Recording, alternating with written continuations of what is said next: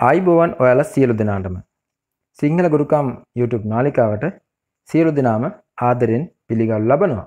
ඒ වගේම ලබන්නා වූ අලුත් අවුරුද්ද කිරියෙන් පැනියෙන් ඉතිරෙන්න ත්‍රිවිධ රත්නයේ ආශිර්වාදය ලැබෙන සාමකාමී සුබම සුබ අලුත් අවුරුද්දක් වේවා කියලා මුලින්ම ප්‍රාර්ථනා කර සිටිනවා. ඉතින් අපි මේ වෙනකොට සිංහල ගුරුකම් YouTube නාලිකාව මගින් ඔයාගේ නිවසේ සිට ඔයාට කරගන්න පුළුවන් සාර්ථක සරල ගුරුකම් කීපයක්ම අරගෙන ඇවිල්ලා තියෙනවා.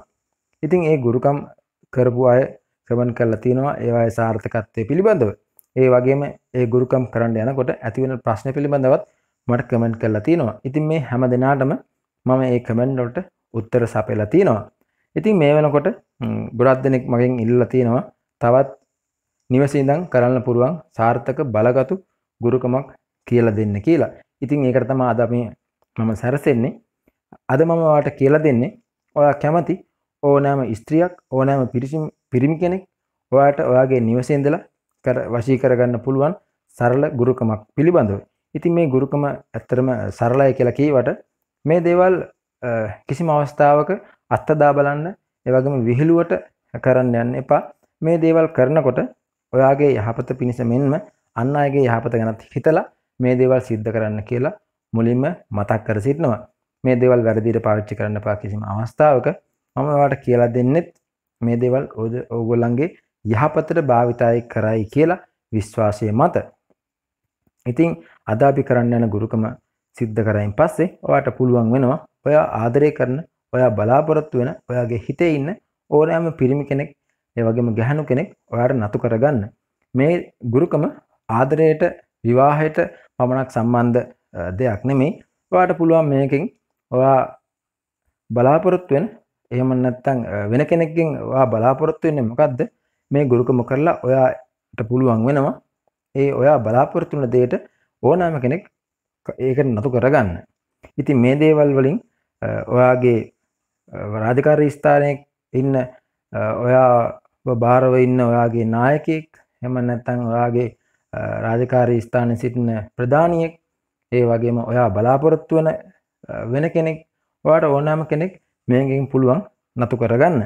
ඉතින් හැමදාමත් වගේ මතක් කර සිටිනවා මේ දේවල් කරනකොට විශ්වාසයෙන් යුතුව සිද්ධ කරන්න ඕනේ. ඉතින් ඔයා මේ දේවල් ගැන විශ්වාසයක් නැතුව මේ දේවල් සිද්ධ කරනවා නම් ඉතින් මේ දේවල් වලින් සාර්ථකත්වයක් ලබන්න බෑ.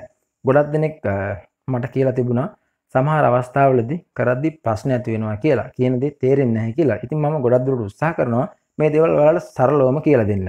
ඒ වගේම මුලින්ම ඔයා මේ වීඩියෝ එක සම්පූර්ණයෙන් බලලා ඉන්න.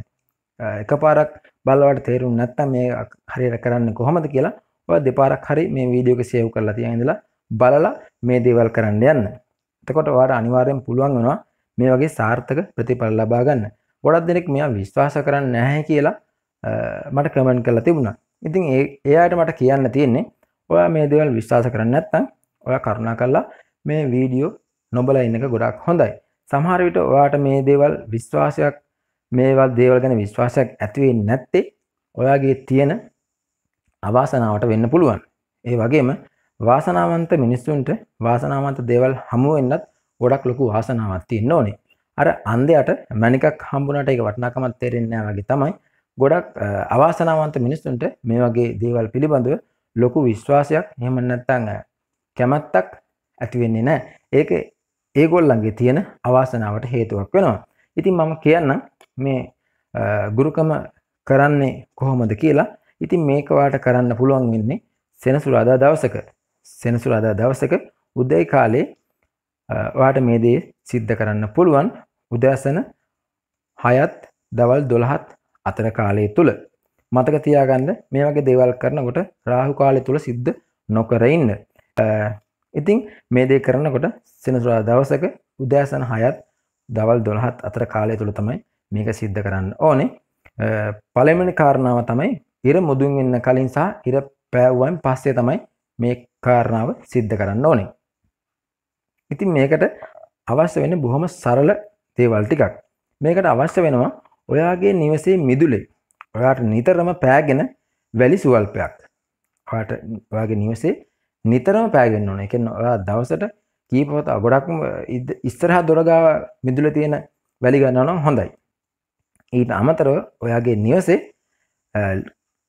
කුස්සිය ලිපේ තියෙන අලු ස්වල්පයක් අවශ්‍ය වෙනවා මේ ප්‍රමාණය වෙන්නේ සමහර මේ ඔයාගේ අතට අහුවන මිටක ප්‍රමාණය ගත්තන හොඳනම් ප්‍රමාණවත් ගොඩක් දුරට අලු ඒ මිටේ ප්‍රමාණයට අඩුනට ගැටලුවක් නැහැ නමුත් වැලිගන්නකොට අල්ල ප්‍රමාණයට අතට අහුවන මිට ප්‍රමාණ්ඩ ගන්න ඕනේ.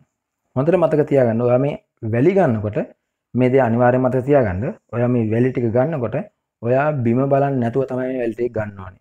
ඔයා වැලි දිහා බලන්න නැතුව තමයි මේ වැලි ටික පොළවෙන් ගන්න ඕනේ. හරි.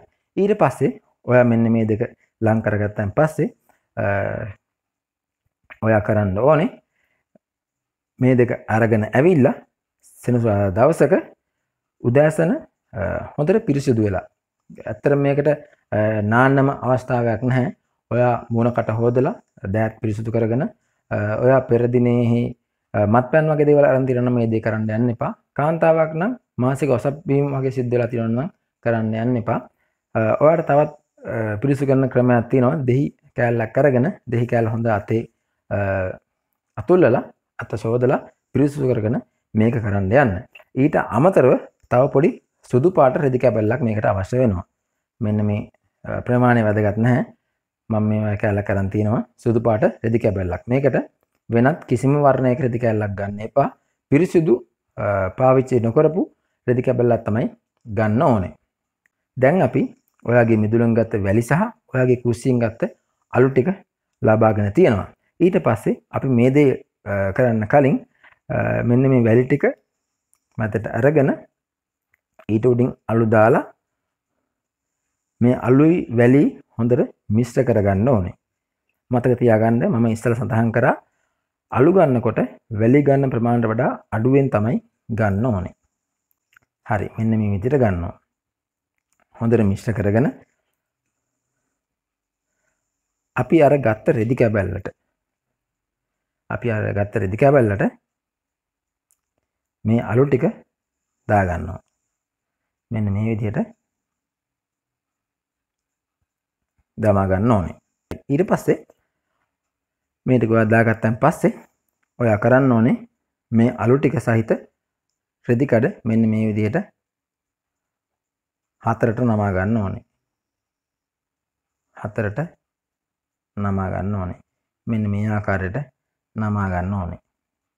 නමාගෙන ඔයා මේක ඔයාගේ දකුණු අත උඩ තබා ගන්න ඕනේ. දකුණු අත උඩ තබාගෙන ඔයා දැන් වශී කරන්න ඉන්න කෙනා සිතින් මතක් කරගන්න ඕන. එයාගේ රූපය මවා ගන්න ඕනේ. ඔයා මේ ගුරුකම කරයින් පස්සේ එයාට වශී වෙන්න ඕනේ කියලා ඔයාගේ හිත තුළ දැඩි විශ්වාසයක් ඇති වෙන්න ඕනේ. ඉතින් ඒ විදිහට ඔයා එයාගේ රූපය මවාගෙන එයා ඔය ඔයාට වශී වෙන්න ඕන කියලා දැඩි විශ්වාසයෙන් යුතුව මෙන්න මේ ගාතාව ඔයා 108 වාරයක් ජප කරන්න ඕනේ. 108 වාරයක් ජප කරන්න ඕනේ. ඉතින් මේ මන්ත්‍රය ජප කරනකොට 108 වාරයක් ජප කරනකොට ඒ අතරතුර ඔයාට කිසිම කරදරයක් කාගවන් බාධා කිරීමක් තොරව කරන්න පුළුවන් තැනකදී මේ දේ සිද්ධ කරන්න ඔයා 108 වාරයක් ජප කරන අතරතුරදී මේ මන්ත්‍රය කියන්න ඔයාට බාධාවක් ඇතුනොතින් ඉතින් මේ කරන ක්‍රියාවලිය සාර්ථක වෙන්නේ නැහැ. ඒ මොනොත් ඔයාට නැවතත් මුලින්දන් 108 වාරයක් ජප කරන්න වෙනවා. ඉතින් මම මේ මන්ත්‍රය ඔයාට එකපාරක් කියලා පෙන්නන්න. ඊට අමතරව මේ වීඩියෝ එකේ යටනු ඒ මන්ත්‍රය ලියලා පෙන්වන්න. ඔයාට එතකොට මේක ලියාගන්න හරි පාඩම් කරගෙන හරි කියාගන්න පුළුවන්. ඉතින් මෙන්න මේක තමයි මන්ත්‍රය. ඕන් නමෝ ජය ජය ශ්‍රී වශී දේවාය නමහ. ශ්‍රී ජයතු ශ්‍රී වශී වශී නම යොදා ඒ ස්වා මම ඒ නම යොදා කියපු තැනට ඔයා කියන්න ඕනේ ඔය වශී කරන්න ඕන කෙනාගේ නම ඉතින් ඔන්න ඔයාකාරයට මෙම ගාථාව එකසිය අටවාර ජප කරලෙන් පස්සේ අපි මේ ගත්ත අලු ටික සහ වැලි ටික බලගැන්වීමක් සිද්ධ වෙනවා. මේ බලගන්නපු අලු ටික ඊට පස්ස ඔයා සිද්ධ කරන්න ඕනේ. දැන් අපි මේ කරෙස් සෙනසුරාදා උදේ. ඊට පස්සේ සෙනසුරාදා උදේ කරයින් පස්සේ ඔයා ඊට පස්සේ කරන්න ඕනේ. ඔයා ඒ වශී කරන්න ඉන්න කෙනාගේ ඉඩ මේ මුළු හතරට මේ අල්ලු සහිත වැලි ටික ඉහින්න ඕනේ. මේක ඔයාට දවල් කාලය හරි රාත්‍රී කාලය හරි ඕනහම වෙලාවකදී සිද්ධ කරන්න පුළුවන් මේ අලු සහ වැලි මුළු හතරට ඉහින එක.